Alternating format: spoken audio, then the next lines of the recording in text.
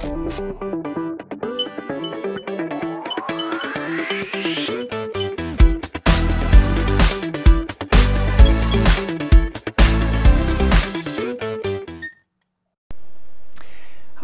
if you've been following this channel for a while, you know that one of the projects I'm involved in is building an auxiliary power unit for our larger drones.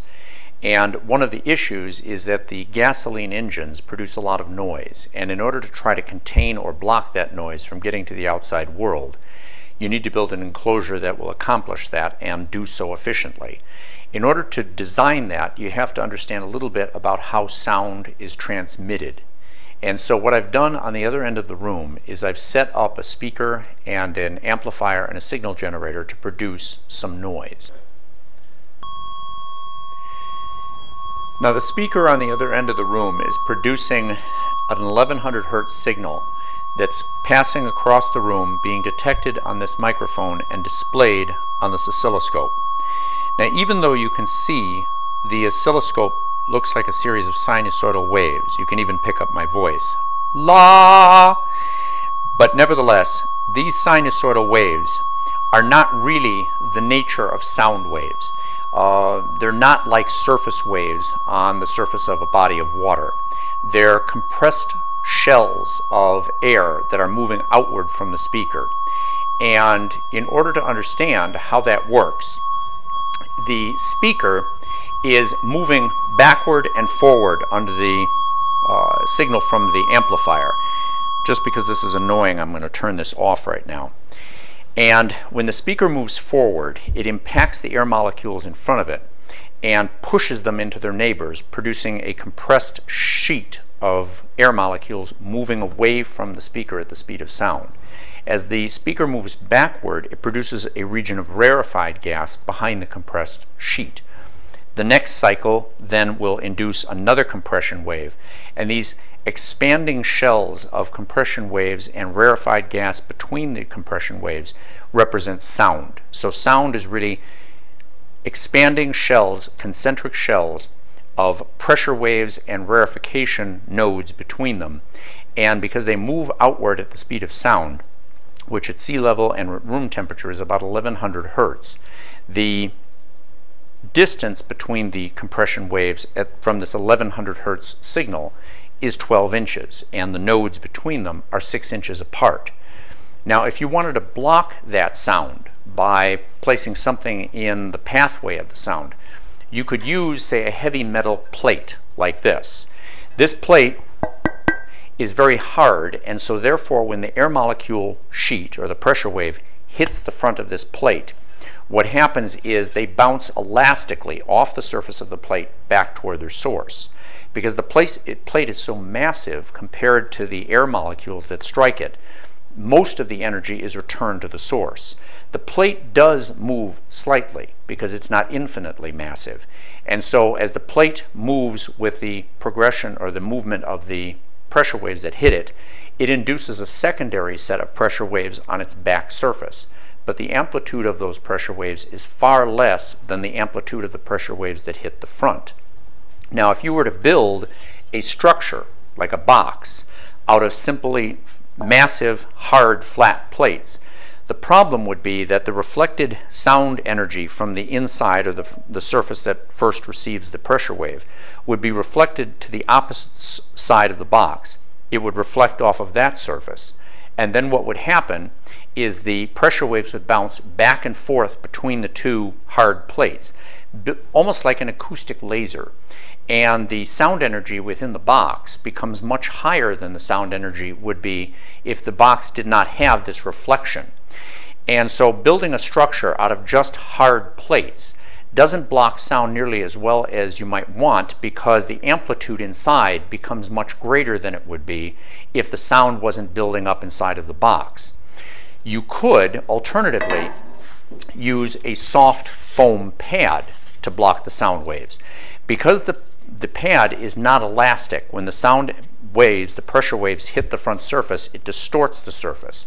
And that distortion causes frictional energy loss. Energy is transferred from the sound wave to heat energy inside the foam. Therefore, there's a lot less reflection inside of a box that would be built up from, say, just foam pads but because the foam pads are so light, closer to the density of air, they move a lot more than the massive plate would move because they don't have a lot of inertia. So the secondary sound waves that are set up off the back side of the foam are going to be much more significant than they would be from the plate alone. So building up a structure or a box from foam is also not very effective. A much better solution is to combine the two. If you take a foam pad and bond it to a metal plate on the back surface, what happens is that the metal plate backs up the foam and so when the sound energy hits the foam, it forces more of the sound energy to be absorbed because there is more compression of this surface. The foam is not moving away from the pressure wave. As a result, the buildup of energy within the container is much less, and therefore the plate has less to resist in terms of inertia to prevent the, the flow of sound out of your box. There's one other degree of freedom that you have the ability to take the advantage of, and that is the fact that when a box is built, the sides of the box support the surfaces. So the box itself is much more resistant to the expansion caused by the pressure waves than would just be a plate due to its inertia. But those are really the only three degrees of freedom you have. You can either use mass, absorption, or stiffness to try to resist sound transmission outside of a box. You don't have any other degrees of freedom. You can mix and match the materials. You can use a foam that is denser. Uh, they load some foams with minerals to make them heavier so that they're less likely to move. You can make a surface that is stiffer and not as heavy as a plate of aluminum by using, say, a composite core sandwich. More resistance uh, is created by the stiffness of the structure rather than the mass but really you're just trading off the different materials to try to uh, balance these three degrees of freedom. There's nothing else you can do unless you introduce the concept of active sound reduction. And the way that that works is that what you're hearing on the microphone now and what I hear in my ear is the peaks between the pressure waves and the rarefication nodes between them. If you could fill that, that low pressure zone between the two expanding pressure waves with a pressure wave, you would create more of a ripple and a much lower amplitude modulation than if you simply had the original sound with its powerful amplitude modulation that would occur without any kind of active reduction. So what I'm going to do is I'm going to demonstrate the property of active sound reduction by uh, demonstrating the effect of phasing or uh, creating anti-phase or anti-phase noise uh, with a secondary source in order to reduce the sound that's transmitted outside of the box. But to do that, I'm going to go outside because the sound reflection from the walls uh, interferes with the effectiveness of the demonstration. So in just a second, we'll go outside and I'll set that up. Okay, so what I've done is I've set up two identical speakers at the same distance from the camera, and they're both hooked up to an amplifier and to the signal generator. What I'm going to do is turn on the primary speaker. Now you can hear the sound coming from just one speaker. If I hook up the second speaker in phase with the first, you'll hear that the sound level gets louder.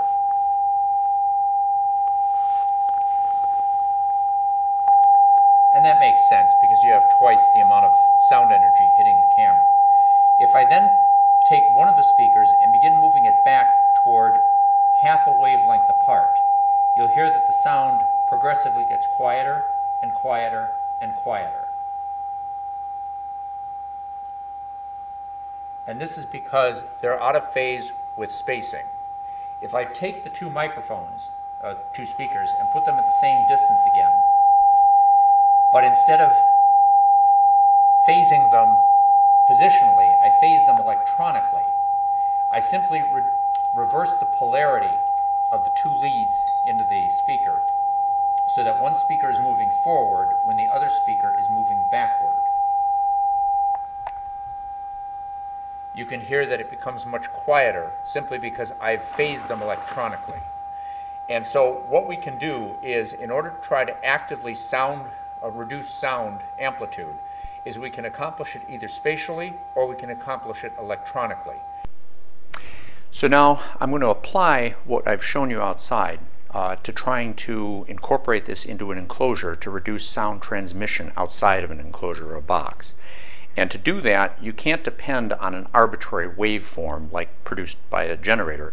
You're going to need to be able to sample the sound in order to generate the anti-phase sound that you're going to use to cancel the noise. In order to do that, uh, what I've done is I've used these small electret microphones. Each uh, wall of the enclosure has one of these microphones glued to the inside right onto the foam. And each microphone feeds a channel of an amplifier. And the amplifier then increases the power and sends it to these actuators or shakers that create speakers out of each of the walls of the structure, uh, creating essentially anti-phase noise out of the structure itself. To understand what these things do, uh, if you've never seen these before, these are essentially the, dr the driver system for any kind of a speaker, a magnet and a coil. And instead of driving a cone, they drive whatever you attach them to. And right now, this is on, and you can barely hear it.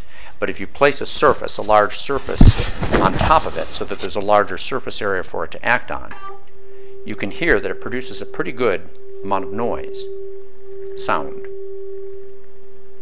and that's what it's doing on the walls of the structure.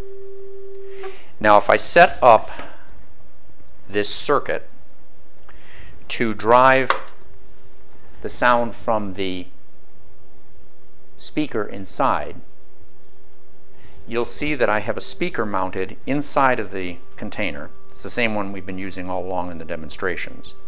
And I've enclosed it inside a metal box with very thin 22 gauge metal and then foam padding like this on the inside to do the dampening. And then what I've done is I've hooked up the microphones to a power source and now that they're energized what I'm going to do is I'm going to vary the amplitude or the amplification to make allowances for the fact that the sound pressures are going to be different on the different walls. So as I start dialing up the amplitude on these, you'll hear that the sound level starts to reduce.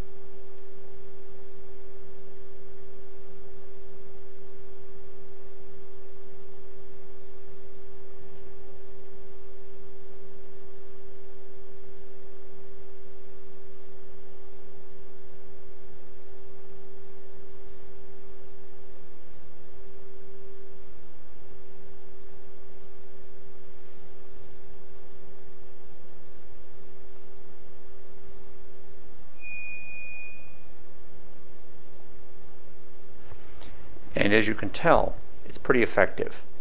I'm going to turn off the microphones.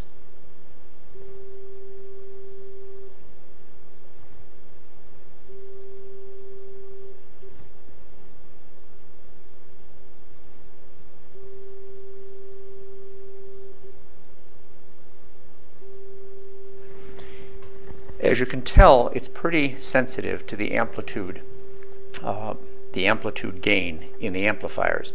And one of the modifications that we're going to be making is including an active circuit that will adjust the amplification for each one of the walls depending on where the noise is coming from, whether it's centered in the box or if it the sound pressure, like with a microphone, tends to be stronger against, say, one of the walls.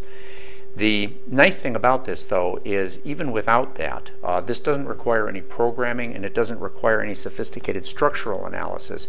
It simply makes the walls effectively stiffer wherever the actuators are located.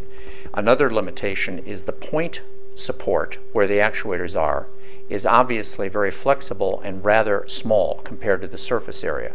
It may be an advantage to put smaller actuators located in a distributed fashion wouldn't add any more weight, they're cheaper, and it may give you better sound reduction. In addition, it may be advantageous to isolate the sound generators from the box itself, or essentially from the speakers, more uh, the microphones more effectively, by placing a very thin walled outer structure that creates the anti-phase noise. Therefore, the coupling between the shaker and the microphone is less, allowing us more amplitude range before we get feedback. Those are modifications I'm going to be making and hopefully over the next uh, couple of weeks we'll produce some videos giving some updates as the box uh, improves. But it is effective, it does work, and uh, it's inexpensive, it's relatively easy to create, and it would be a lot of fun to play with if you want to get a couple shakers, some microphones, and play with some amplifiers. I'm sure that you could probably improve on what I've done so far. And um, that's what I think makes this exciting is the possibility of um, improving on a design that effectively works. So I hope this was useful. I hope it was enjoyable. It's a lot of fun doing this and uh, look forward to seeing you next time. You have a good night.